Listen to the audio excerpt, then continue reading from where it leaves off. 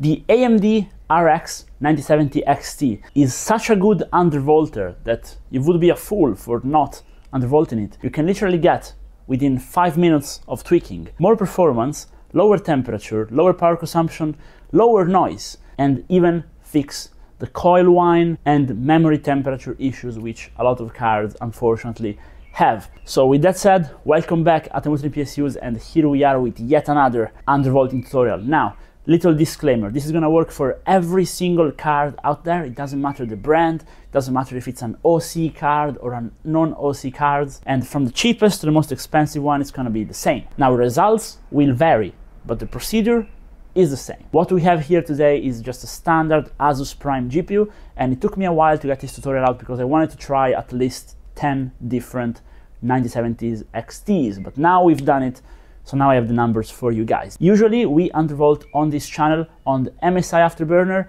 and Heaven Benchmark. However, since they locked out the curve, I figured we can have one less software running and do everything in the included Adrenalin software, which AMD automatically installs with the driver, kind of like the NVIDIA app. So we are doing everything there. Since this is not a curve, we also do not need to download Heaven Benchmark as in my other tutorials. Now, if it's the first video you watch from me, you don't know what any of these are, do not worry, okay? And let's get started. Now, the only thing I ask from you guys is at the end of the video, if the video is actually going to help you, maybe drop a like and subscribe because the goal of my channel is to be able to try and put out tutorials on how to undervolt and overclock every single component out there. And the only way I can do that is if you guys help me out with a like and by subscribing. So with that said, let's get started. Let's start tweaking. Okay, here we are in Windows. Now the first thing we want to do is actually hit the Windows button and search in our type bar. Adrenalin, You just need to type ADR and open it up. It's a software which everyone has if you're running an AMD card. Make sure you're running the latest possible drivers. And now you want to go in the Performance tab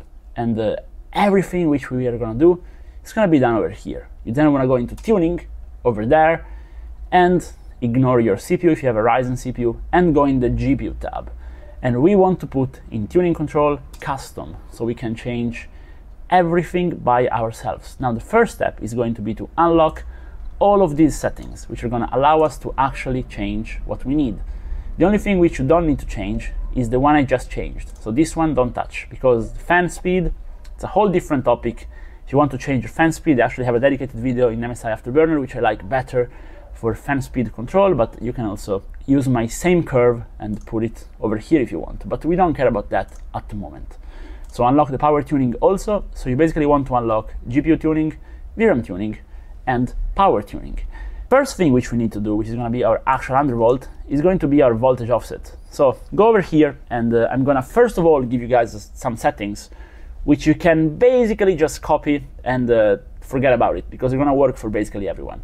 And the first settings are going to be strictly as an undervolt, so strictly for efficiency. So what you want to do is go there and hit 80, go down there and put 2700, okay, and click here and put fast timing. At this point, technically, this is already an undervolt, but if you're doing this for efficiency, you also want to move the slider as to have minus 10 over there. And you can then apply changes and be very happy. Now I'm also going to show you guys how you can actually save this, which a lot of other tutorials are not doing.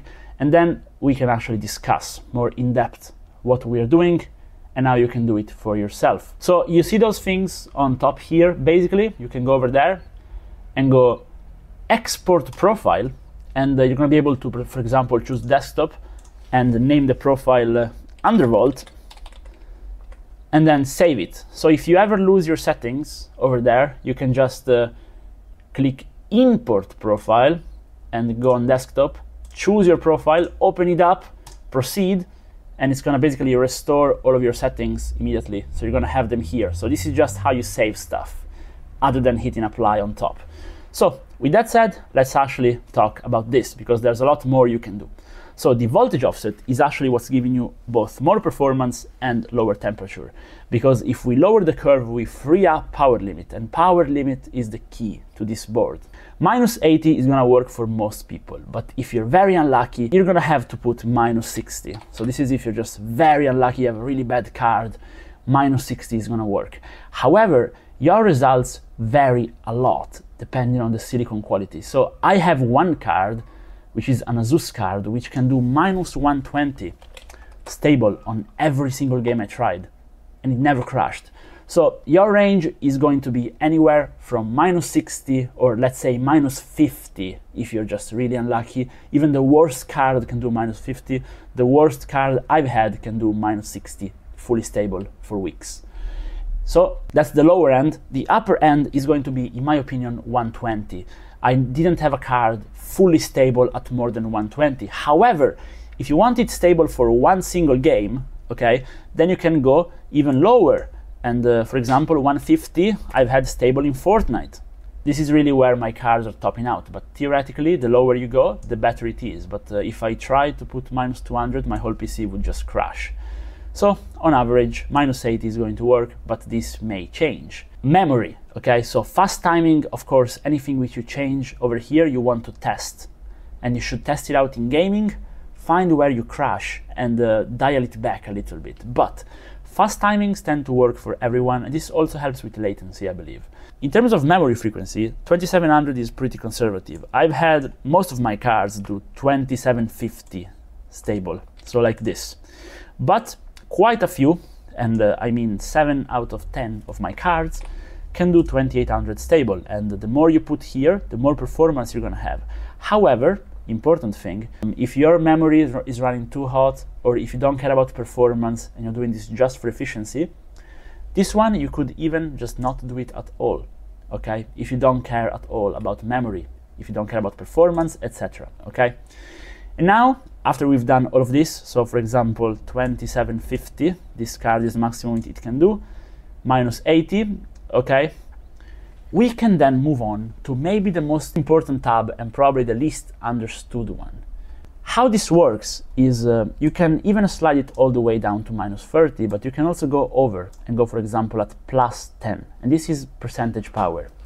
Now, this is going to allow you to use the same voltage settings and the same RAM frequency settings to have a completely different outcome. So if you put it, for example, on minus 30, which I actually recommend you do, this is going to be your maximum efficiency point. So you're going to lose a few FPS, very little, but drop around 100 watts from your card by doing this, okay? The minus 10, which I was recommending at the beginning, is basically a sweet spot where you are losing 0% performance because we're also doing a little overclock on our memory and you're actually gaining a few percentage points in my testing by doing minus 10 with those settings over there. However, if you go ahead and actually put plus 10, your card is going to run hot with a lot of power, but you're going to gain around 10% performance compared to stock if you overclock your memory and get a good offset going. So these are the three settings. Basically, you need to find your voltage offset, which is going to be the same. You need to find your maximum VRAM frequency, which is going to be the same. And then you can test or decide which kind of behavior you want from your card by using the power limit. And once you've decided, just hit apply changes, save the profile as I showed you, and then test out the card. We also have a stress test here, but uh, you're better off just play some games, run Furmark, and stuff like that.